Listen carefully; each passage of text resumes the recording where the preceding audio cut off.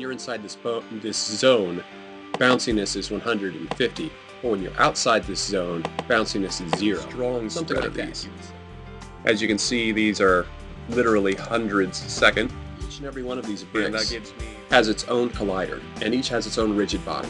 So it's essentially calculating their collisions with each and every one of them.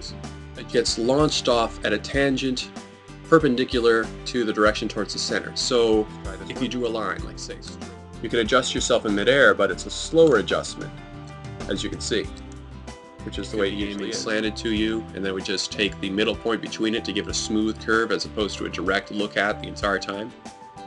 And then